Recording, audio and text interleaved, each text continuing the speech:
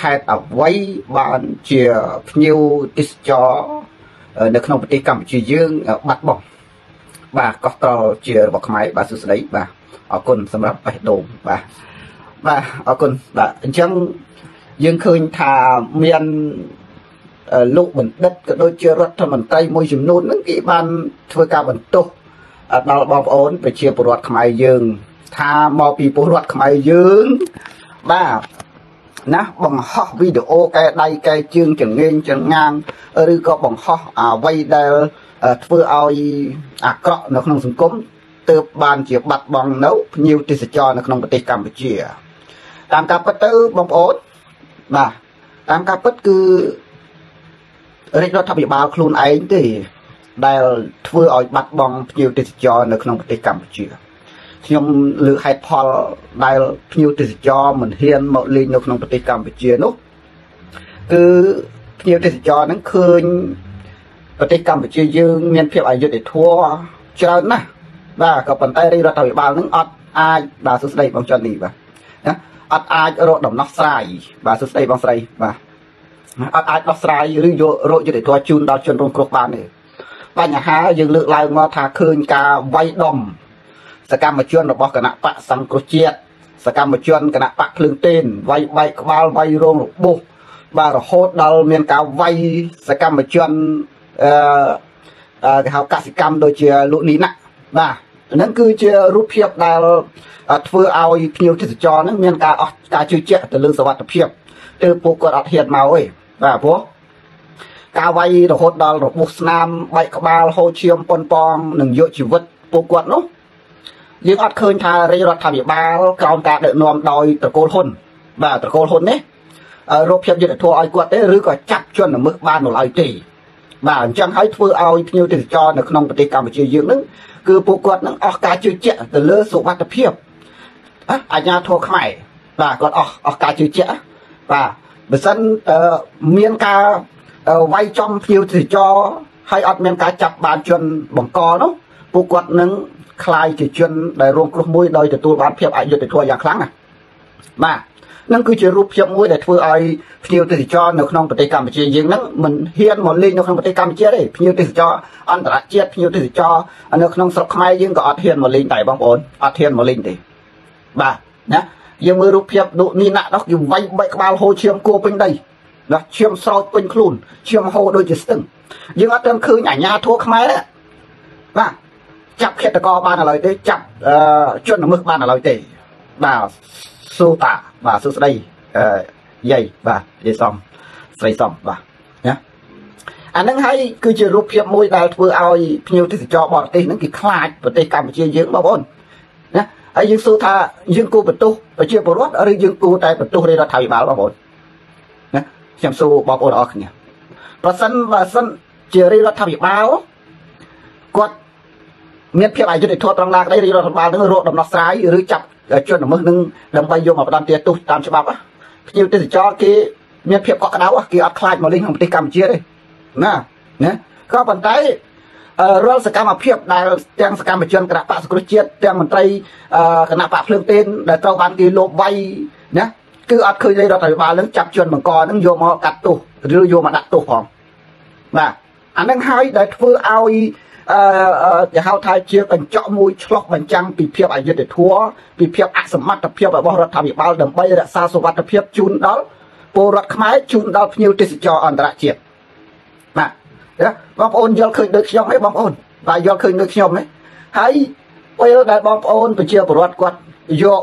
រឿងទាំងអស់នឹងមកផុសតាមបណ្ដាញសង្គម Facebook ដើម្បីស្វែងរកជនល្មើសរកភាពយុត្តិធម៌ជូនដល់ជនរងគ្រោះបែជាបន្ទុកប្រជាពលរដ្ឋ ថាប្រជាពលរដ្ឋផុសដើម្បីធ្វើឲ្យបាត់បង់ភ្ញៀវទេសចរចាក់បើពួកអស់ពួកលោកមិនព្រមរកយុទ្ធធម៌ជូនពួកគាត់ផងបាទតើឲ្យពួកគាត់នៅស្ងៀមរបៀបម៉េច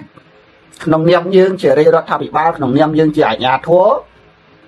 យើងអសមត្ថភាពយើងគ្មានសមត្ថភាពខ្លួនឯងដើម្បីនឹងការពារសវត្ថភាពជូនពលរដ្ឋជូនភ្ញៀវទេសចរ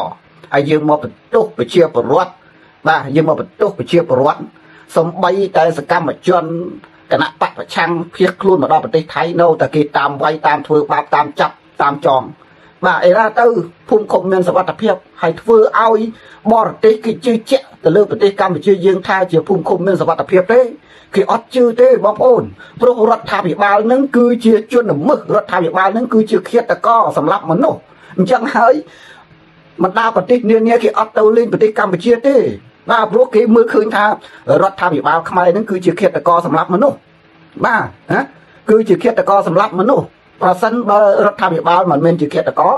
រដ្ឋាភិបាលនឹងចាប់ជនល្មើសនឹងមកផ្ដំទាទោសឲ្យបងប្អូនបាទមកពីរដ្ឋាភិបាលនឹងមិនចាប់ជនអឺល្មើសនឹងមកផ្ដំទាទោសនឹងឲ្យទើបបណ្ដាអន្តរជាតិនឹងគេអាចជាមានការគិតថាអ្នកដែលបង្កអសន្នសុខនៅក្នុងសង្គមការវាយដំចំធាក់ណា ឬវាយដើម្បីដល់អាយុជីវិត ដើម្បីប៉ុនប៉ងយកអាយុជីវិតវាគឺជាសកម្មភាពរបស់រដ្ឋាភិបាលបាទណាបងអឺបងខាងបងម៉ោងប្រហែលហើយបាទអឺខាងខ្ញុំម៉ោង74បាទ74ល្ងាចហើយបាទម៉ោង74ល្ងាចហើយបាទណាអញ្ចឹងហើយបងប្អូនទាំងអស់គ្នា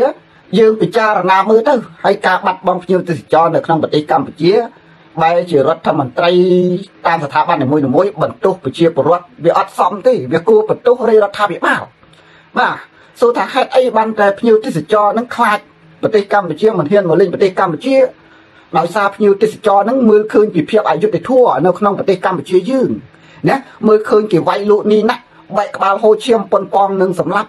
ក៏ប៉ុន្តែរដ្ឋាភិបាលនឹងអត់ចាប់ជនល្មើសនឹងដើម្បីមកផ្ដន់ទាទោសទេចំណុចហ្នឹងគឺ ភ្ញៀវទេសចរគាត់មើលឃើញចំណុចនឹងមួយគាត់ថាប្រទេសកម្ពុជាគ្មានស្ថិរភាពទេមានតែភាពវឹកវរណាមានតែភាពការភ័យខ្លាចសំបីប្រជាពលរដ្ឋខ្លួនឯងត្រូវគេវាយបែកហូរឈាមណាសឹងនឹងបាត់បង់អាយុជីវិតទៅហើយរដ្ឋាភិបាលធ្វើបង្ើយកន្តើយចោះទម្រាំយើងជាជនបរទេសដែលយើងទៅលេងប្រទេសកម្ពុជាបើសិនតែគេវាយបែកក្បាលគេប្លន់វាយបែកក្បាលហូរឈាមរហូតដល់អាយុជីវិតទៅតើកម្ពុជាគេរកយុទ្ធធម៌ឲ្យយើងទេបើប្រជាពលរដ្ឋខ្លួនឯងគេមិនរកឲ្យផងហ្នឹង អញ្ចឹងហើយភ្ញៀវទេសចរហ្នឹងគាត់ខ្លាចល្អាត្រង់ហ្នឹងឯងបងប្អូនគាត់ខ្លាចល្អាត្រង់ហ្នឹងបានគាត់អត់ទៅលេងក្នុងប្រទេសកម្ពុជាណាបាទទី2ទៀតគឺកម្ពុជាយើងសម្បូរទៅដោយចោលបាទចោលឬក្មេងស្ទាវក្មេងទំនើងណាការប្រើប្រាស់គ្រឿងញៀនគ្រឿងសង្វឹងផ្ទះពេញនៅក្នុងប្រទេសកម្ពុជាគឺរដ្ឋាភិបាលនឹងបានបង្កើតនៅអាពពុះនឹងឯងបានធ្វើឲ្យភ្ញៀវបរទេសណាមិនហ៊ានទៅលេងក្នុងប្រទេសកម្ពុជាយើងណាគេគិតថាប្រទេសកម្ពុជាយើងគឺគ្មានសុវត្ថិភាពទេបានតែគេមិនទៅ ណាបងប្អូនទាំងអស់គ្នាយើងគួរតែលើកចំណុចហ្នឹងដើម្បីយកមកនិយាយបាទដើម្បីឲ្យរដ្ឋាភិបាលនឹងភ្ញាក់ខ្លួនផងបាទបើសិនជារដ្ឋាភិបាលមិនរកជនល្មើសការវាយការដំការចាប់ដោយគ្មានមូលហេតុនោះបញ្ជាក់ថារដ្ឋាភិបាលនឹងគឺជាអ្នកបង្កឲ្យកើតអំពើអសន្តិសុខនៅក្នុងសង្គមអញ្ចឹងហើយធ្វើឲ្យប៉ះពាល់ដល់បណ្ដាអន្តរជាតិទាំងមូលដែលគេមានបំណងចង់ទៅលេងកម្ពុជាហ្នឹងគឺគេមានកាត់ការភ័យខ្លាចណាស់ បាទការភ័យខ្លាចណាស់សវត្ថភាពជាចម្បងបាទហើយ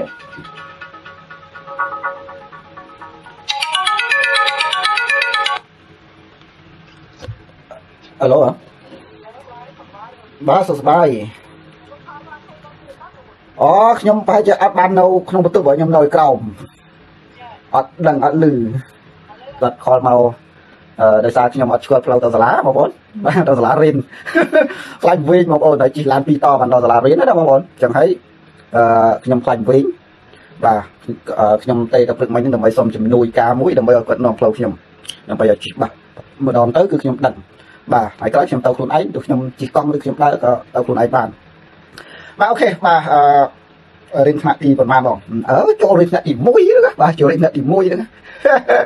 បាទហើយអញ្ចឹងខ្ញុំសូមលើកឡើងអំពីវិធានបတ်យើងសាជាថ្មីម្ដងទៀតហើយចំពោះបញ្ហារឿងដែលអឺហេតុអ្វីបានភ្ញៀវទេសចរនៅក្នុងប្រទេសកម្ពុជាយើងបាត់បង់បងប្អូនអរគ្នាយើងដឹងហើយថាបាត់បង់ហ្នឹងព្រោះអ្វីដោយសារភ្ញៀវទេសចរនឹងមើលឃើញអំពីអសន្តិសុខនៅក្នុងសង្គមខ្មែរយើងគឺគ្មានសវត្ថភាពសម្រាប់ពលរដ្ឋខ្មែរទាំងគ្មានសវត្ថភាពអឺភ្ញៀវទេសចរ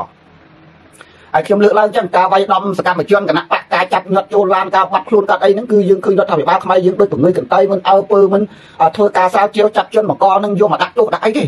បាទរហូតដល់មានការវាយដំលក់នេះណាក់លក់អីហ្នឹងក៏រដ្ឋាភិបាលពង្រើកន្តើយមិនចាប់ជនមកកហ្នឹងដើម្បីយកមកដាក់ទោសដាក់ទណ្ឌ ណាបើវាយភូមិផាំងភូមិផាំងហើយក្នុងរយៈពេលមួយថ្ងៃសមត្ថកិច្ចចាប់ផ្ដើមធ្វើការស្រាវជ្រាវហើយចាប់ជនបង្កនឹងបានហើយហើយយើងយកមកផុសជាសាធារណៈដើម្បីបង្ហាញដល់អន្តរជាតិថាឥឡូវយើងចាប់ជនបង្កបានហើយអីហើយអានឹងគឺភ្ញៀវទេសចរក៏ដូចជាភ្ញៀវជាតិភ្ញៀវអន្តរជាតិនឹងគាត់មានទំនុកទុកចិត្តគាត់មានការជឿជាក់ទៅលើសុខភាពនៅក្នុងប្រទេសកម្ពុជាក៏ប៉ុន្តែអានេះវាយគ្នាចង់ងាប់ចង់រស់ហើយបើជាអត់ឃើញចាប់ឃាតករឬចាប់ជនល្មើសនឹងមកដើម្បីកាត់ទោសកាត់ទណ្ឌតាមច្បាប់ទេបាទនោះគឺស្ងាត់ជើងអញ្ចឹងហើយឲ្យភ្ញៀវទេសចរនឹងមានទំនុកទុកចិត្ត ទៅលើភាពកក់ក្ដៅដោយអាជ្ញាធរខ្មែររបៀបម៉េចបាទអញ្ចឹងហើយបានបាត់ភ្ញៀវទេសចរហ្នឹងបងប្អូនទាំងអស់គ្នា ជាទេសចរក្នុងស្រុកខ្មែរនឹងបាត់ដោយសាររឿងហ្នឹងកុំបន្ទោសថាប្រជាពលរដ្ឋចេះតែបំផុសបំផុលចេះតែផុសរឿងអើមិនល្អពីប្រទេសកម្ពុជាធ្វើឲ្យភ្ញៀវអន្តរជាតិហ្នឹងគេមិនចូលទៅលេងកុំបន្ទោសណាកុំបន្ទោសប្រជាពលរដ្ឋរិះគន់ដើម្បីស្ថាបនារដ្ឋាភិបាលខ្លួនឯងហ្នឹងគឺជាអ្នកអនុវត្តបាទប៉ុន្តែបើសិនជាប្រជាពលរដ្ឋរិះគន់នៅចំណុចដែលកង្វះខ្វះខាតនៅចំណុចដែលខ្លួនឯងមិនទាន់បានបំពេញបន្ថែមបែរជាអ្នកឯងមកបន្ទោសប្រជាពលរដ្ឋទៅវិញនោះអានឹងវាជារឿងដែលខុសមិនមែនជាជាទូនាទីរបស់រដ្ឋាភិបាលនៅក្នុងការដោះស្រាយនោះទេនៅក្នុងការដោះសារនោះទេរដ្ឋាភិបាលមានទូនាទីនៅក្នុងការដោះស្រាយរាល់ការអ្វីដែលបងប្អូនប្រជាពលរដ្ឋខ្មែរយើងបានបង្ហោះបានបង្ហើបានរិះគន់ណាចំណុចដែលអវិជ្ជមានរបស់រដ្ឋាភិបាលយើងគួរតែដោះស្រាយដោយចំណុចហ្នឹងមិនមែនថាយើងមកបន្ទោសប្រជាពលរដ្ឋអ្នករិះគន់ទេអ្នកដែលពួកគាត់គេហៅថាពលរដ្ឋម្នាក់គឺជាកញ្ចក់ឆ្លោះបញ្ចាំងពីភាពអយុត្តិធម៌ក្នុងសង្គមម្នាក់ដែរអញ្ចឹងពលរដ្ឋគាត់អាចណា មើលឃើញពីភាពអយុត្តិធម៌មើលឃើញពីកង្វះខ្វះខាតរបស់រដ្ឋាភិបាលហើយគាត់អាចផ្តិតអាចយករូបភាពនឹងដើម្បីយកមកបង្ហោះបង្ហើផ្សាយផ្ញើសារនឹងជូនដល់រដ្ឋាភិបាលរដ្ឋាភិបាលខ្លួនឯងគូតែទៅដោះស្រាយឬក៏ទៅបប្រតិបត្តិនៅចំណុចហ្នឹងបាទប្រជាពលរដ្ឋអ្នកនិយាយហើយរដ្ឋាភិបាលជាអ្នកបប្រតិបត្តិមិនមែនរដ្ឋាភិបាលមកដោះសារយករួចខ្លួនទាំងទេអាហ្នឹងយើងធ្វើទៅរដ្ឋាភិបាលរបៀបម៉េចបាទបើយើងខ្វះទំនោរការខុសត្រូវនៅភាពជាអវិជ្ជមានរបស់ខ្លួនឯងនោះបាទអានេះហើយខ្ញុំសូមផ្ដាំផ្ញើទៅរដ្ឋាភិបាលផងហើយមួយទៀតបងប្អូនទាំងអស់គ្នាហើយ ខ្ញុំឃើញថានៅក្នុងប្រទេសកម្ពុជាយើងប្រសិនបើមានមេដឹកនាំដែលប្រកែកអ៊ូតច្រើនជាងការធ្វើ ប្រទេសយើងនឹងរលៃឆាប់ឆាប់នឹងហើយយើងអត់អាចបន្តដំណើរទៅមុខបានទេបាទហើយបងប្អូនអ្នកនៅក្នុងប្រទេសកម្ពុជាយើងទាំងដាច់ពុះងាប់ហើយបាទឥឡូវនេះយើងមើលឃើញថាទឹកចំនួនកំពុងតែវាយលុកទៅលើប្រទេសកម្ពុជាយើងចាប់ពីថ្ងៃនេះតទៅបងប្អូនអ្នកនៅក្នុងប្រទេសកម្ពុជាមានតាប្រុងប្រយ័ត្នអំពីទឹកចំនួនកូនចៅមកទីគូក្របីក្តីបងប្អូនគួរតែប្រុងប្រយ័ត្នផងដែរបាទឥឡូវទឹកចំនួនកាន់តែធ្លាក់ខ្លាំងខ្លាំងហើយប៉ុន្តែយើងអត់អាចទៅបន្ទុះទៅលើធម្មជាតិទេបងប្អូនយើងអត់អាចទៅបន្ទុះទៅលើធម្មជាតិបានទេយើងគួរតែបន្ទុះទៅលើរដ្ឋាភិបាលដែលអ្នកដឹកនាំណាម្នាក់ម្នាក់អួតអាងថានឹងគេនឹងនឹងយកពុនដើរពីប្រជាពលរដ្ឋដើម្បីធ្វើការអភិវឌ្ឍប្រទេសក៏ប៉ុន្តែរាល់ការរដូវវស្សារដូវប្រាំងប្រជាពលរដ្ឋតែងតែរអ៊ូរទាំការគ្រោះទឹកចំនួនខ្វះទឹកប្រើប្រាស់ណាខែរដូវប្រាំងខ្វះទឹកប្រើប្រាស់ទៅខែវស្សាលិចទឹកលិចផុងទៅអានឹងមូលហេតុមកពីបញ្ហាអ្វីបងប្អូនទាំងអស់គ្នាបាទប្រទេសគេក៏ជាប្រទេសមួយដែលរស់ក្រោមបាទរស់ក្រោមធម្មជាតិដូចគ្នា ណារស់ក្រោមមេឃតែមួយដូចគ្នាហេតុអីប្រទេសគេមិនជួបពីគ្រោះធម្មជាតិធ្ងន់ធ្ងរដោយប្រទេសកម្ពុជាយើងដោយសាររដ្ឋាភិបាលគេនឹងគេខ្នះខ្នែងបងប្អូនគេខ្នះខ្នែងគេទទួលបានពន្ធដារពីបងប្អូនប្រជាពលរដ្ឋហើយគេយកអាពន្ធដារហ្នឹងទៅអភិវឌ្ឍប្រទេសគេដើម្បីឲ្យមានប្រព័ន្ធធូលេសាស្ត្របាទណាសម្រាប់សម្រាប់ផ្ទុកទឹកសម្រាប់បង្ហូរទឹកសម្រាប់បញ្ចេញទឹកមិនឲ្យជន់លិចខូចសម្បត្តិទ្រព្យបងប្អូនប្រជាពលរដ្ឋខ្មែរទេក៏ប៉ុន្តែហេតុអីបានជាប្រទេសកម្ពុជាយើងរស់ក្រោមមួយតែមួយហេតុអីបានជាមានការលិចទឹកខូចទ្រព្យសម្បត្តិបងប្អូនប្រជាពលរដ្ឋរៀងរាល់ឆ្នាំអញ្ចឹងបងប្អូនទាំងអស់គ្នាហើយការយកពន្ធដារក៏ដូចជាប្រទេសគេដែរណាយកពន្ធពីបងប្អូនប្រជាពលរដ្ឋហើយអូនអាងខាខ្លួនឯងនឹងយកពន្ធដើម្បីធ្វើការអភិវឌ្ឍប្រទេសក៏ប៉ុន្តែប្រជាពលរដ្ឋនៅតែរងគ្រោះពីការអភិវឌ្ឍប្រទេសនឹងដដែលបាទនៅអភិវឌ្ឍប្រទេសចំណុចណាខ្លះណាយើងសួរទៅរដ្ឋាភិបាលអញ្ចឹងវិញបាទក្នុងនាមជារដ្ឋាភិបាលគឺត្រូវតែធ្វើការដើម្បីបំរើប្រជាពលរដ្ឋបើបំរើប្រជាពលរដ្ឋដូចជាការកកាយបឹងណា កកាយអីសម្រាប់ផ្ទុកទឹកកកាយធ្វើជាអាងសម្រាប់ផ្ទុកទឹកបង្កើតប្រព័ន្ធទន្លេសាស្ត្រសម្រាប់បង្ហូរទឹកកុំឲ្យទឹកជន់លិចណាខូចខាតនៅសម្បត្តិទ្រព្យបងប្អូនប្រជាពលរដ្ឋខ្មែរក៏ប៉ុន្តែបងប្អូនហើយណា កម្ពុជាយើងរៀងរាល់ឆ្នាំប្រជាពលរដ្ឋតែងរអ៊ូរទាំអំពីបញ្ហាការទឹកលិចដល់រដូវប្រាំងវិញរអ៊ូរទាំរឿងអត់ទឹកប្រើប្រាស់បាទដំណាំផលដំណាំពួកគាត់វិញងាប់ទឹកទុកអស់ដល់ខែវស្សាពួកគាត់មានទឹកភ្លៀងមកហើយពួកគាត់ដាំដុះបែរជាទឹកលិចផលដំណាំគាត់ទៅវិញអាហ្នឹងយើងសួរទៅរដ្ឋាភិបាលតើរដ្ឋាភិបាលហ្នឹងអាសពថ្ងៃហ្នឹងគាត់កំពុងតែធ្វើស្អីអង្គុយធ្វើស្អីគាត់មានងាកមើលថាតើពលរដ្ឋត្រូវការអ្វីទេពលរដ្ឋចង់បានអ្វីទេក្នុងនាមជារដ្ឋាភិបាលគួរតែធ្វើណាដំណោះស្រាយដល់បងប្អូនប្រជាពលរដ្ឋទៀមទាយើងទៅតែដោះស្រាយជូនបងប្អូនប្រជាពលរដ្ឋមិនមែនឡើងមកហើយអង្គុយអួតអាងចការស្លាប់ទេបាទណាទៅក្នុងមួយថ្ងៃជួប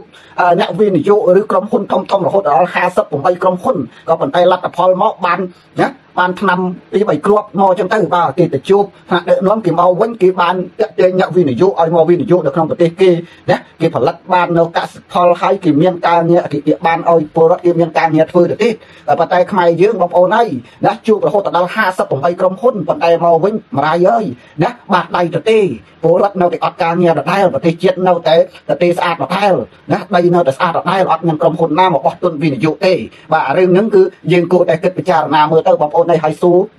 ផ្ដាំផ្ញើសូមផ្ដាំផ្ញើទៅដល់ហ៊ុនម៉ាណែតបើសិនជាអំណាចនៃយើងអួតទៅហើយយើងអួតឲ្យចំបាទមិនមែនយើងអួតទាំងបាត់ដៃទៅទេទេណាអានេះខ្ញុំផ្ដាំទៅហ៊ុនម៉ាណែតណាបាទខ្ញុំជឿជាក់ថាអាប្អូនអាចដឹកនាំប្រទេសវាគ្មានសមត្ថភាពនៅក្នុងការដឹកនាំប្រទេសទេអូនអើយណាកុំចង់បានអំណាចដូចឪពុកវិញចោះចេញទៅយើងគ្មានសមត្ថភាពទេយើងគ្មានសមត្ថភាពទេយើងចោះចេញទៅយើងឲ្យអ្នកដែលគេមានសមត្ថភាពមកដឹកនាំប្រទេសដើម្បីមើលថែដល់ពលរដ្ឋខ្មែរវិញវាប្រសើរជាងណាអានេះខ្ញុំផ្ដាំទៅអាប្អូនហ៊ុនម៉ាណែតណាបងអូនឯងនឹង មើលការចំណេះចេះដឹងអូនឯងហ្នឹងគឺវាអត់កំណើតទេវាអត់ទៅមកមិនដឹងថាដឹកនាំអ្ហ្មិចដឹកនាំវល់វល់បបបាញ់កាញ់អ្ហ្មិចទេណាអានេះបងផ្ដាំទៅអូនហ៊ុនម៉ាណែតតែចោះចេញទៅអូនបាទមិនចាំដល់មួយឆ្នាំទេមិនចាំតាមនយោបាយដល់មួយឆ្នាំទេចោះចេញទៅបាទបងគាត់ទៅមើលក្នុងរយៈពេល2 3ខែអូនឯងមានលទ្ធភាពទៅដល់សហរដ្ឋអាមេរិកហើយអូនឯងគួរតែចាប់យកអ្វីមួយមកដល់ប្រទេសកម្ពុជាណាបងប្អូនតារបស់ខ្ញុំបងប្អូនតារបស់ខ្ញុំគាត់បានព្រៀនប្រដៅខ្ញុំបាទព្រៀនប្រដៅខ្ញុំថាអញ្ចឹងចៅว่าបើសិនជាចៅដើរបានឆ្ងាយ ណាមកវិញចៅទៅដឹកមីគូមកវិញចៅណាតាខ្ញុំគាត់តែងតែព្រៀនប្រដៅខ្ញុំចឹងបាទប៉ុន្តែគាត់ស្លាប់យូរហើយតាខ្ញុំនោះប៉ុន្តែនៅក្នុងដែលនៃដែលគាត់និយាយបងប្អូនបងប្អូនមួយចំនួនណាគឺយើងអត់ដឹងថាគាត់និយាយអំពីអ្វីទេបាទតារបស់ខ្ញុំណា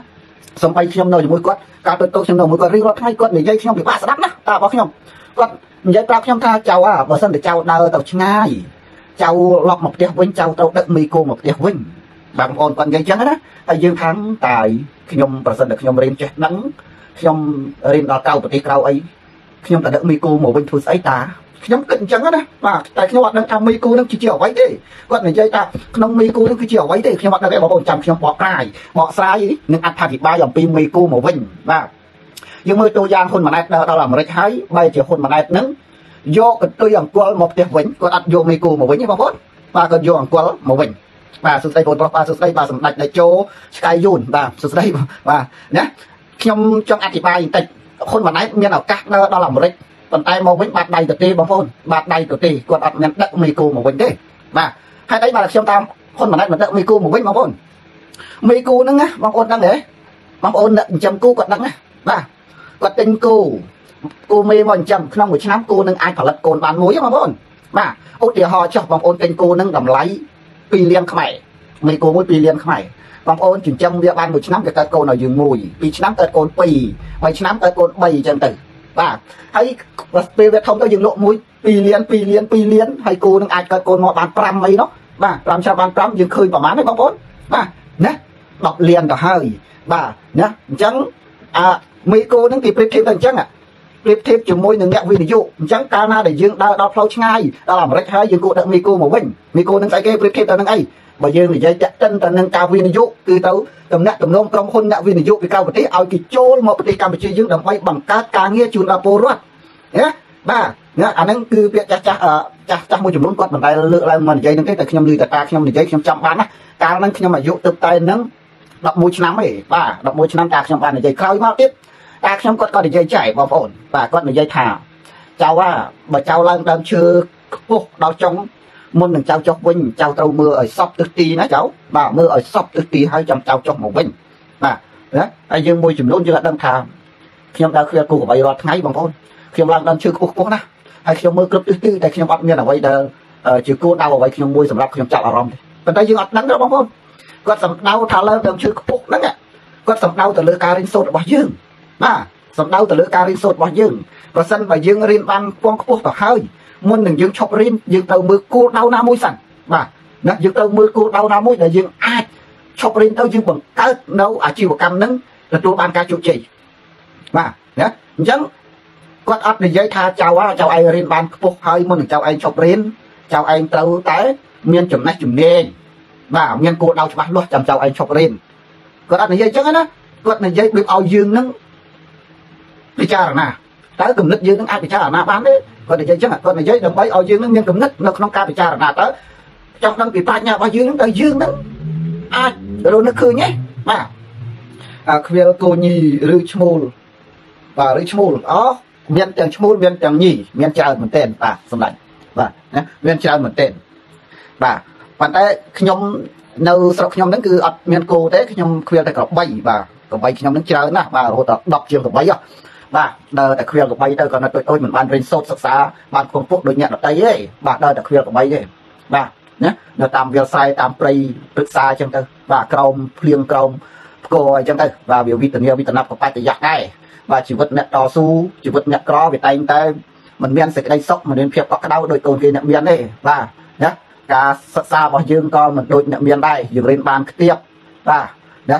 ហើយនៅក្នុងចំណេះដឹងយើងក៏មិនបានពងខ្ពស់ដែរប៉ុន្តែយើងជួយចិត្តស្ដាប់នៅចាស់ចាស់គាត់ណែនាំទៅអ្វីអ្វីយើងក៏រីកចម្រើនទៅតាមនឹងទៅយើងរៀនសិក្សានឹងការពិចារណាទៅយើងក៏យល់ដឹងខ្លះខ្លះដែរបាទហើយខ្ញុំនិយាយអំពីតាខ្ញុំគាត់និយាយអំពីថាឡើងដើមឈឺខ្ពស់មុននឹងចុះមើលឲ្យបានសក់បាទសាប់ចុះមកវិញហ៎បងប្អូនបើសិនបើយើងនៅក្មេងយើងអត់ដឹងថាគាត់ចង់និយាយពាក្យនឹងថាម៉េចយើងបែរជាគិតថាខ្ញុំឡើងដើមឈើរាល់តែថ្ងៃខ្ញុំមើលគ្រប់វាលទិសទីគ្មានអ្វីមួយណាឲ្យចាប់អារម្មណ៍ផង មើលទៅឃើញតែចុងព្រៃចុងឈើមើលទៅឃើញតែវាលស្រែឃើញតែចំការហើយអត់មានអីទេខ្ញុំក៏ចុះមកវិញទៅប៉ុន្តែខ្ញុំគាត់តែខ្ញុំគាត់និយាយប៉ុណ្ណឹងគាត់សួរថាយល់ទេវាថាឡើងដើមឈើដល់ខ្ពស់មុននឹងចុះមកវិញមើលឲ្យសពទិសទីហ្នឹងយល់ទេតើមានន័យថាម៉េចគាត់និយាយចឹងខ្ញុំថាខ្ញុំអត់យល់ទេគាត់ថាបើអត់យល់យកទៅគិតពិចារណាមើលទៅតើវាគឺជាអ្វីខ្ញុំគិត3 4 5ខែបងប្អូនខ្ញុំដេកគិតណាបាទដេកគិត3 4 5ខែទៅតែអត់នឹកឃើញថានឹងគឺជាអ្វីបាទណា ខ្ញុំគិតថាឡើងដើមឈើខ្ពស់មានតែមើលវាខ្សែមើលចំការមើលភ្លឺខ្សែណាមើលដំបូកមើលដើមឈើនឹងឯងបាទយើងគិតទៅខាងហ្នឹងវិញទៅយើងគិតងាយងាយវាងាយងាយចឹងទៅប៉ុន្តែក្នុងអត្តន័យរបស់គាត់គឺជ្រៅបងប្អូនអត្តន័យរបស់គាត់គឺគាត់សំដៅទៅលើការរៀនសូត្របាទណាគាត់សំដៅទៅលើការរៀនសូត្របើយើងរៀនបានថ្នាក់ខ្ពង់ខ្ពស់មុននឹងយើងឈប់រៀនបងប្អូនយើងត្រូវសម្លឹងមើលគោលដៅណាណាមួយដែលយើងអាចចិញ្ចឹមខ្លួនឯងរស់ យើងអាចបង្កើតការងារឲ្យអ្នកចិត្តខាងបានធ្វើទេសំយើងឈប់រៀនបាទអាហ្នឹងដែលគាត់និយាយហ្នឹងគឺគាត់និយាយសម្ដៅទៅនឹងឯងបាទបាទចាញ់រដ្ឋាភិបាលថៃដែលឡើងថ្មីនឹងអឺដាច់ហ្មងគេទៅប្រជុំគេមានតែទំនាក់ទំនងក្រុមហ៊ុនអ្វីអ្វីដើម្បីមកឲ្យវារយុដល់ថៃ yes បាទយ៉ាត្រឹមត្រូវហើយបាទអាហ្នឹងហើយបាទខ្ញុំនិយាយខ្ញុំលើកឡើងពីចំណុចហ្នឹងចាបងអូនបាទសម្ដេចវ៉ាន់ម៉ៅបាទសម្ដេចបវរវ៉ាន់ម៉ៅបាទណា ខ្ញុំលើកឡើងអំពីបញ្ហាហ្នឹងហើយអញ្ចឹងហើយបាទខ្ញុំនិយាយអំពីមីគូមកខ្ញុំនិយាយហ៊ុនម៉ាណែតដល់អាមេរិកបែរជាមកវិញដៃទៅទេមិនដឹកមីគូមកវិញបាទអត់មានដឹកមីគូបាទឆ្លងដល់អាមេរិកហើយអត់ដឹកមីគូមកផ្ទះវិញណាមកវិញបាត់ដៃទៅទេមកដល់ប្រទេសកម្ពុជាហើយអូតរហូតជួបក្រុមហ៊ុន58ក្រុមហ៊ុននោះបាទយ៉ាងម៉េចក៏មិននិយាយផងខ្ញុំជួបរហូតដល់58ក្រុមហ៊ុនមិនក៏មិននិយាយផងណានិយាយតែថៃហ្នឹងបាទគេនិយាយចំពោះតែ អ្វីដែលជាវិជ្ជមាននៅក្នុងដែលគេទទួលបានហើយយើងនឹងអត់ទទួលបានផងគេនិយាយជឿស្អីហ៊ុនម៉ាណែតលោកឯងមកបន្ទុះអ្នករិះគន់អ្នកនិយាយហ្នឹងលោកឯងអត់មានខ្មាស់ខ្លួនឯងទេអីអត់មានខ្មាស់ខ្លួនឯងទេអីបាទគេទៅគេបានជួបជាមួយក្រុមហ៊ុនល្បីល្បីតែគេទទួលបានផលមកដល់ប្រទេសគេមកវិនិយោគនៅក្នុងប្រទេសគេបាទឥឡូវគេបើករោងចក្រផលិតឡានអគ្គិសនីនៅក្នុងប្រទេសថៃបាទគេគេទៅបានចော့យើងអូនអាងថាខ្លួនឯងជួបក្រុមហ៊ុនធំធំ រហូតដល់58ក្រុមហ៊ុនតើយើងបានអីខ្លះមកដល់ប្រទេសកម្ពុជាអាហ្នឹងគេរិះគន់ចំណុចហ្នឹងគេមិនមែននិយាយគេរិះគន់ថាអ្នកឯងមិនបានជួបមិនបានអីទេខ្ញុំដឹងថាលោកឯងបានជួបបាទបានជួបក្រុមហ៊ុនរបស់ខ្ញុំអីក៏ប៉ុន្តែលទ្ធផលដែលទទួលបានមកអ្នកឯងបានអីមកខ្លះគាត់មិនបាទមុននឹងស្ដីបន្ទុកមុននឹងចេញមកអត់ទាំងតឹងទឹះគាត់មិនយើងគួរគិតពិចារណាផងគេនិយាយអ្នកដែលគេនិយាយគឺគេនិយាយចំណុចអវិជ្ជមានរបស់ខ្លួនឯងហើយខ្លួនឯងគួរតែទទួលស្គាល់ថាមែនខ្ញុំ បានជួបជាមួយក្រុមហ៊ុន58ក្រុមហ៊ុនមែនក៏ប៉ុន្តែខ្ញុំអត់បានទទួលអ្វីមកវិញជូនដល់ប្រទេសកម្ពុជាទេអ្នកឯងប្រាប់ត្រង់ត្រង់ចឹងមកអ្នកឯងទៅស្ដីបន្ទោសអីចាំថាអីមិនក៏មិននិយាយផងមិនក៏មិននិយាយផងខ្ញុំបានជួប58ក្រុមហ៊ុនមិនក៏មិននិយាយផងនិយាយទៅចំពោះថាថៃហ្នឹងព្រោះថៃគេជួបក្រុមហ៊ុនតិចមិនដល់58ក្រុមហ៊ុនដូចលោកឯងទេគេជួបតាមតែ2 3ក្រុមហ៊ុនតែគេអាចឲ្យក្រុមហ៊ុនធំធំហ្នឹងមកវិនិយោគនៅក្នុងប្រទេសថៃបានណា បាទអាហ្នឹងគេនិយាយបាទគេនិយាយគេអបអរសាទរគេផ្ទះដៃគេសបាយបើគុណមិនអាចឯងធ្វើដូចគេបានដូចគេមិនអីខ្ញុំអបអរផ្ទះសាទរផ្ទះដៃដែរតើប៉ុន្តែវាអត់ដល់ពេលអត់ខ្ញុំនិយាយណាពេលអត់ខ្ញុំនិយាយតែខ្ញុំនិយាយឲ្យកុំខឹងបែរជាមកស្ដីបន្ទោសអ្នកនិយាយទៅវិញបាទណាស្ដីបន្ទោសអ្នកនិយាយទៅវិញគេនិយាយដើម្បីឲ្យខួរក្បាលហ៊ុនម៉ាណែតឯងនឹងខ្លាយជាមនុស្សបាទកំខ្លាចជាអាគូក្បាលឪពុករបស់ខ្លួនអ៊ូតក្តែងក្តែងក្តែងក្តែងជាបរដ្ឋនៅតែរហាមជាបរដ្ឋនៅតែរហាម ហើយមកបានអាកូនចោម៉ាស៊ីននេះមួយទៀតអ៊ូតម៉ែអ៊ូតណាអាកូនចោម៉ាស៊ីននេះទៀតអ៊ូតម៉ែអ៊ូតប៉ុន្តែមកវិញបាត់ដៃទៅទេមកវិញបាត់ដៃទៅទេណាណាអានេះខ្ញុំផ្ដាំទៅអាប្អូនហ៊ុនម៉ាណែតបើឯងគ្មានសមត្ថភាពទេចុះចេញទៅអូនហើយឲ្យគេដឹកនាំអ្នកដែលគេមានគំនិតគេមានការចេះដឹងឈ្លៀសវៃជាងយើងដឹកនាំវិញណាអានេះបងផ្ដាំទៅណាហ៊ុនម៉ាណែតណាណាហើយកុំឲ្យខ្លួនឯងអសមត្ថភាពខ្លួនឯងមិនធ្វើបានអ្វីហើយគេនិយាយបែរជាខឹងគេឆ្លើយតបគេពងពងពងពងពងពងពង ហើយមិនចេះខ្មាស់ខ្លួនឯងថាខ្លួនឯងនឹងអសមត្ថភាពពិតប្រាកដមានណាអានេះខ្ញុំប្រាប់ដល់ហ៊ុនម៉ាណែតណាបាទឥឡូវហ្នឹងខ្ញុំហ៊ានវាយតម្លៃក្រុមអចលនៈជាប់នៅក្នុងប្រទេសកម្ពុជាខ្មែរយើងណាបាទដល់ឆ្នាំ2024ហ្នឹងដួលរលំខ្ទេចណាដួលរលំខ្ទេចខ្ញុំវាយតម្លៃចឹងចុះបាទព្រោះខ្ញុំធ្លាប់ធ្វើការវិភាគឃើញត្រូវច្រើនដងដែរបាទដូចខ្ញុំបានធ្វើការវិភាគរឿងគ្រោះទឹកចំនួននៅខេត្តបាត់ដំបងហ្នឹងគឺខ្ញុំបាន និយាយថាថ្ងៃទី29ខែ9នឹងមានទឹកលិចនៅខេត្តបាត់ដំបងហើយឥឡូវមានមែនបងប្អូនមានមែនបាទមានមែនណានៅក្នុងការវិភាគរបស់ខ្ញុំទេបាទហើយខ្ញុំមិនមែនទៅបានចំរយៈបានខានជួបក្មួយដល់រស់យូរហើយបាទហ្នឹងហើយ CMP ឡើយបាទឥឡូវបានជួបហើយបាទឥឡូវបានជួបហើយបាទណា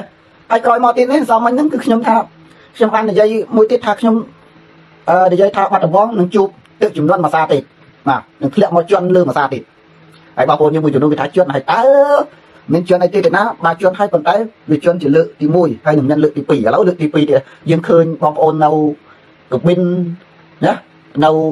អីហ្នឹងកំពុងតែលេចខ្លាំងថ្ងៃហ្នឹងបាទលេចខ្លាំងមែនទែនបាទលេចខ្លាំងមែនទែនណាបងប្អូនខ្លះលេចដល់តបូលផ្ទះក៏មានដែរនៅកបិនបាទកបិនភ្នំព្រឹកយើងខេត្តបាត់ដំបងហ្នឹងបងប្អូនលេចខ្លាំងថ្ងៃហ្នឹងថ្ងៃទី3បាទខ្ញុំក៏បាននិយាយរួចទៅហើយដែរអញ្ចឹងខ្ញុំដាក់ការវិភាគទៅមើលក្រុមហ៊ុនអចលនៈទ្រព្យ ខ្ញុំសូមទុកឲ្យច្រើនខែបន្តិចទៅចោះនឹងដួលរលំខ្ទេចក្រុមហ៊ុនអចលនៈទ្រព្យបាទនៅក្នុងប្រទេសកម្ពុជានឹងដួលរលំណាបងប្អូនបងប្អូនបងប្អូនស្ដាប់ខ្ញុំណា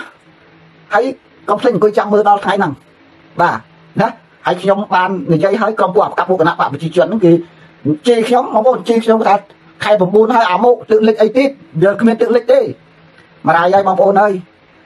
វាជេរខ្ញុំមិនទាន់បាន2ថ្ងៃផងទឹកលិចមែនដល់ខ្ញុំចូលទៅយក comment វាដើម្បី caption យកផុស Facebook មិនអីវាលុបចោលបាត់បាទវាខ្មាស់សម្ដីវាវាជីខ្ញុំវាខ្មាស់ខ្លួនឯងវាលុបចោលទៅវិញទៅបាទណាវាលុបចោលទៅវិញទៅបាទហើយដល់ពេលខ្ញុំនិយាយហើយថ្ងៃហ្នឹងខ្ញុំផុសរឿងអាហ៊ុនម៉ាណែតមកអ៊ូតអាងអ៊ូតអាងក្តែងក្តែងហ្នឹងខ្ញុំផុសហ្នឹងឃើញក្រុមពួកអាស៊ីផាក់ខេសហ្នឹងគឺចូលមកជីខ្ញុំច្រើនណាស់បងប្អូនចង់10 20នាក់បាទណាចង់10 20នាក់គេចូលមកជីខ្ញុំហ្នឹងណាបាទសិតតែថាខ្ញុំនឹងបំពល់សង្គមខ្ញុំនឹងអីអីអូយហោហាសារភងសារផាត់បងប្អូនក៏ប៉ុន្តែខ្ញុំអត់បានបំពល់សង្គមទេខ្ញុំនិយាយនៅអ្វីដែលការខ្ញុំមើលឃើញ បាទណាបាទលបងស្ថានភាពឥឡូវខ្ញុំសង្កេតឃើញថាភ្ញៀវទេសចរកាន់តែសន្ទុះកើនឡើង ជាងមុនថ្ងៃណាស់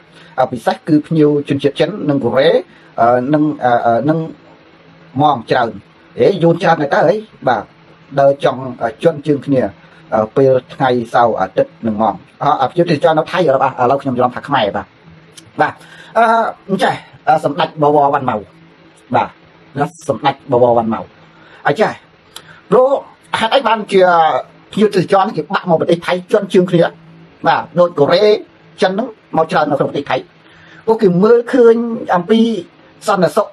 សុវត្ថិភាពនៅក្នុងប្រទេសថៃហ្នឹងគឺល្អប្រសើរបាទតែបងប្អូនល្អប្រសើរបាទអញ្ចឹងហើយធ្វើឲ្យភ្ញៀវទេសចរចិននិងភ្ញៀវកូរ៉េហ្នឹងគេមានទំនុកទឹកចិត្តមានភាពអក្តៅទៅលើអាញាធរថៃបាទណា ថាអាចការពារសុវត្ថិភាពគេបានចាសសួរថាហេតុអីកូរ៉េចិនអាមេរិកអាល្លឺម៉ង់អង់គ្លេសអេស្ត្រាលីអីហ្នឹងមិនហ៊ានទៅប្រទេសកម្ពុជាមើលរំលងប្រទេសកម្ពុជាបែរទៅចូលទៅថៃបាទដូចបងបានលើកឡើងពីមុនមកអញ្ចឹងរឿងដែលពួកគេមិនទៅលេងនៅក្នុងប្រទេសកម្ពុជាពួកគេអត់មានភាពកក់ក្ដៅអំពីសុវត្ថិភាពណាទីមួយដូចខ្ញុំនិយាយអញ្ចឹងថាការវាយដំបែក ក្បាលបែកឈាមហូរឈាមទៅលើសកម្មជនទៅលើគណៈបកគឺអត់ឃើញរដ្ឋាភិបាលឬអាជ្ញាធរខ្មែរហ្នឹងរកជនល្មើសបានទេចាក់ជនល្មើសមកបានទេអញ្ចឹងហើយអារូបភាពទាំងអស់ហ្នឹងគឺជារូបភាពដែលឆ្លុះបញ្ចាំងឲ្យភ្ញៀវទេសចរហ្នឹងមើលឃើញថាយីជនជាតិខ្មែរគេវាយបែកក្បាលហូរឈាមសឹងនឹងដល់អាយុជីវិតដូចលោកនេះលោកនេះណាក់ក្តីហ្នឹងគេវាយបែកក្បាលចំងឹកចំរស់អត់ឃើញរដ្ឋាភិបាលនឹងចាប់ជនល្មើសដើម្បីមកដាក់ទោសទណ្ឌផងចាក់ទម្រាំយើងភ្ញៀវទេសចរយើងទៅប៉ះចោ ឆក់ចោប្លន់ចោចាប់ជំរិតទៅតែយើងមានសុវត្ថិភាពទេអត់អញ្ចឹងអញអត់ទៅលេងប្រទេសខ្មែរទេអញខ្លាចណាបាទណែចំណុចហ្នឹងបងប្អូនចំណុចហ្នឹងហើយធ្វើឲ្យភ្ញៀវទេសចរមិនអាចទៅលេងប្រទេសកម្ពុជាព្រោះតែអត់មានសុវត្ថិភាពពីអាជ្ញាធរបាទប្រសិនបើការវាយបែកក្បាលពីសកម្មជនបពប្រឆាំងឬសកម្មជនកសិកម្មអីហ្នឹងរដ្ឋាភិបាលវាយមួយអីរដ្ឋាភិបាលចាប់បានភ្លាបយកមកបង្ហាញថាឥឡូវខ្ញុំចាប់ជនល្មើសបានហើយ ភ្ញៀវអន្តរជាតិគេមានភាពកក់ក្ដៅកម្ពុជាមានសុវត្ថិភាពល្អបាទគេវាយអត់ទាន់បាន1ម៉ោងទាន់2ម៉ោងផងចាប់បានបាត់ហើយបាទណាចាប់បានបាត់ហើយបាទណាបងជាចောက်នេះជាបាទក៏ប៉ុន្តែអានេះវាយមនុស្សងាប់រោគឃាតករអត់ឃើញបាញ់លក់បណ្ឌិតកែមលៃងាប់ទៅចាប់ពពេអស់បាទទៅចាប់ពពេឃាតករអត់មានស្រាវជ្រាវរកថាណាមានការពាក់ព័ន្ធជាមួយជននឹងទេណានៅពីក្រោយខ្នងនឹងទេអត់ទេអត់ស្រាវជ្រាវទេបាទទៅចាប់ពពេស្វាស៊ីបាយមុតលៀបមុតពពេចាប់ពពេមកបង្ហាញថាចាប់ឃាតករបានហើយអើវាយសកម្មជនគណៈបកងាប់ អង្គប្រហែលឆ្នាំមុនអត់ឃើញចាប់ជនបង្កនឹងយកមកដាក់ទោសទណ្ឌទេហើយវាយអេអាដាមនៅមុខរដ្ឋសភាមកវាយផងទាត់ផងធាក់ផងបែកក្បាលបែកខ្ទង់ពីមុខបែកមាត់អត់ចាប់ឃាតករនឹងបានផងដាក់គុកដាក់ច្បាប់អីផងអត់កាត់ទោសអ្វីទាំងអស់អើវាយលោកនេះណាណាវាយលោកនេះដាក់បែកក្បាលហូចឈាមសោចពេញខ្លួនអត់ទាន់បានចាប់ឃាតករមកបានឥឡូវឲ្យភ្ញៀវទេសចរនឹងទៅជឿជាក់លើសុវត្ថិភាពពីអាជ្ញាធរខ្មែរដោយរបៀបម៉េចឲ្យពួកគាត់មានភាពកក់ក្ដៅទៅលើអឺសមត្ថកិច្ចរបៀបម៉េចបើសមត្ថកិច្ចប៉ុណ្ណឹងធ្វើការបានផងហ្នឹង ឲ្យពួកគាត់មានភាពកក់ក្ដៅឲ្យគាត់ជឿជាក់ដើម្បីទៅលេងប្រទេសកម្ពុជាហ្មងគាត់អត់ហ៊ានទៅលេងដោយគាត់ឃើញរូបភាពហ្នឹងគាត់ថាអឺគេវាយប្រជាពលរដ្ឋខ្លួនឯងចង់ងាប់ចង់រស់អាញាធัวធ្វើមិនដឹងមិនលឺបាទហើយចောက်ទៅរំភ្ញៀវបរទេសជនបរទេសគាត់ទៅតើគេរយយុទ្ធធម៌ឲ្យយើងទេគេចាប់ជនល្មើសឲ្យយើងទេណែគេខ្លាចចំណុចហ្នឹងណាណាសម្ដេចបវរសម្ដេចបវរវ៉ាន់ម៉ៅបាទណាគេខ្លាចទៅហ្នឹងមែនទេបងទៅចោលខ្មៅបងឯងជឿទេជឿថាភ្ញៀវទេសចរគេមិនទៅលេងខ្មែរគេខ្លាចអីហ៎ គេមិនមែនខ្លាចប្រជាពលរដ្ឋយកព័ត៌មានមកបង្ខំបង្ហើទេតែគេខ្លាចពីសុវត្ថិភាពដែលអាជ្ញាធរធ្វើពង្រើយកន្តើយមិនអើពើណាបងណាប្រសិនបើវាយផោះពី3ម៉ោងសមត្ថកិច្ចចុះទៅត្រួតពិនិត្យដើម្បីស្រាវជ្រាវរោគឃាតជនល្មើសហ្នឹងអាហ្នឹងភ្ញៀវទេសចរគេមានភាពអក្តៅគេជឿជាក់ថាអញទៅលេងប្រទេសកម្ពុជាព្រោះប្រទេសកម្ពុជាមានសុវត្ថិភាពល្អបាទគាត់ទៅវាយគុំផាំគុំផាំមិនទាន់បាន1ម៉ោងផងសមត្ថកិច្ចអាជ្ញាធរខ្មែរហ្នឹងស្រាវជ្រាវរោលឿនណាបាទចាប់ឃាតករបានចាប់ជនល្មើសបានបាត់ហើយ បាទអានោះគឺពួកគាត់មានមានមានទឹកចិត្តដើម្បីទៅលេងនៅក្នុងប្រទេសកម្ពុជាគាត់មានភាពអកដៅគាត់ទៅទាំងមានការជឿជាក់គាត់ទៅទាំងមានសុវត្ថិភាពក៏ប៉ុន្តែអានេះបងប្អូនអានេះអត់ទៅបងប្អូនណាណាជនជាតិចិនចូលប្រទេសកម្ពុជាកាន់កំភ្លើងបាញ់បោះអាណាធិបតេយ្យបោះកំភ្លើងចូលពេញថ្នល់បើឡានបុករះណាផឹកសាសវឹងបើឡានបុកគ្នាបុកគ្នាវាយកាប់ចាក់គ្នាតាមផ្លូវសាធារណៈដោយអាណាធិបតេយ្យដោយប្រទេសមួយដែលគ្មានថ្នាក់ដឹកនាំដោយប្រទេសមួយដែលគ្មានច្បាប់ទម្លាប់បាទអញ្ចឹងឲ្យភ្ញៀវទេសចរទាំងគាត់ ទៅមានទំនុកទុកចិត្តទៅលើសវត្ថិភាពពួកគាត់របៀបម៉េចគាត់មិនហ៊ានទៅលេងនៅក្នុងប្រទេសកម្ពុជាបងប្អូនបាទមិនបាច់មកលេងប្រទេសកម្ពុជាទេជាការពុតអីបងណាបងគេមិនមែនអាយុជីវិតគេមិនមែនកើតមួយកើតគេហៅថាងាប់មួយថ្ងៃកើតមួយថ្ងៃទេណាបាទមិនមែនកើតមួយថ្ងៃងាប់មួយថ្ងៃទេណាណាទៅរាប់នឹងបានកើតមកម្ដងម្ដងណាបាទកើតមកហើយមានលុយមានប្រាក់សម្រាប់ដើរលេងសប្បាយហើយបែរទៅទៅងាប់ចោលបាទពួកគាត់លេងបានឃើញពលិថ្ងៃវិញអាណាទៅយកជីវិតយើងទៅបោះចោលនៅក្នុងប្រទេសមួយដែលគ្មានច្បាប់ទម្លាប់ត្រឹមត្រូវវាមិនទៅទេ បាទទុកងាប់ក្តីអីក្តីតែគេមានភាពយុត្តិធម៌សម្រាប់គ្រួសារគេគេក៏សប្បាយចិត្តដែរក៏ប៉ុន្តែអានេះអត់ទេបងប្អូនអត់ទេបាទអត់ទេណាយើងមើលរូបភាពទាំងអស់ហ្នឹងទៅណាកុំបន្ទោសទៅលើប្រជាពលរដ្ឋគូបន្ទោសលើរដ្ឋាភិបាលដែលធ្វើឲ្យភ្ញៀវទេសចរបាត់បង់ពីប្រទេសកម្ពុជាពីភាពអសមត្ថភាពនៅក្នុងការរក្សាសុវត្ថិភាពជូនទៅដល់ប្រជាពលរដ្ឋខ្លួននិងជូនទៅដល់ភ្ញៀវទេសចរទើបគេមិនហ៊ានទៅលេងនៅក្នុងប្រទេសកម្ពុជានោះបងប្អូនណាហើយរឿងចិនមួយអារឿងចិនដែលគេគេសម្ដែងអំពីការចាប់ចម្រិត បាទចាប់ចម្រិតចាប់អីយកប្រាក់យកអីហ្នឹងរឿងចិនហ្នឹងល្អបងប្អូនគឺជារឿងដែលល្អហើយតែបាទខ្ញុំថាជារឿងដែលល្អបងប្អូនព្រោះរឿងហ្នឹងបានឆ្លុះបញ្ចាំងភាពពិតនៃប្រទេសកម្ពុជាបាទប្រទេសកម្ពុជាយើងសប្តាហ៍កំពុងតែចាប់ចម្រិតមនុស្សជាតំបន់មួយគេហៅថាជាប្រទេសមួយដែលអឺធ្វើការចាប់ចម្រិតមនុស្សបាទដោយរដ្ឋាភិបាលខ្មែរហ្នឹងកំពុងតែផ្ដល់សម្បុកក្រុមពួក mafia ចាប់ចម្រិតមនុស្សហ្នឹងតែអញ្ចឹងរឿងចិនហ្នឹងលេងវាអត់ខុសទេយើងកុំទៅជីរឿងចិនហ្នឹង យើងគួរតែអរគុណរឿងចិនហ្នឹងបងប្អូនណាយើងគួរតែអរគុណរឿងចិនហ្នឹងដើម្បីជាការដាស់តឿនស្មារតីរដ្ឋាភិបាលខ្មែរហ្នឹងធ្វើម៉េចបើគេសំបីតែចិនក៏អាចយករឿងពីប្រទេសកម្ពុជាហ្នឹងទៅសម្ដែងជារឿងមួយណាជាដែងជារឿងមួយដោយសារអីគេដោយសាររដ្ឋាភិបាលយើងហ្នឹងគាត់អសមត្ថភាពបាទណាផ្ដល់កន្លែងឲ្យក្រុមម៉ាហ្វុងម៉ាហ្វៀចាប់ចម្រិតមនុស្សចាប់អីចឹងទៅបងប្អូនយល់ដូចខ្ញុំទេបងប្អូនខ្លះឃើញរឿងហ្នឹងជាស្ដីរឿងហ្នឹងថាមកពីរឿងហ្នឹងហើយទើប ធ្វើឲ្យប្រទេសកម្ពុជាយើងនឹងបាត់បង់ភ្ញៀវទេសចរពួកអត់ទេបងប្អូនគូតែអរគុណព្រោះរឿងហ្នឹងគឺជារឿងមួយដែលបង្ហាញភាពពិតនៃប្រទេសកម្ពុជាយើងដែលកំពុងតែកើតឡើងនៅក្នុងសពថ្ងៃហ្នឹងបាទកើតឡើងនៅក្នុងសពថ្ងៃហ្នឹងណាបងប្អូនទាំងអស់គ្នាបាទណាប្រសិនបើរដ្ឋាភិបាលទៅជីគេទៅស្ដីបន្ទោសគេទាំងទាំងតែខ្លួនឯងមិនទាន់បានអនុវត្តមិនទាន់បានបោសសម្អាតនៅអា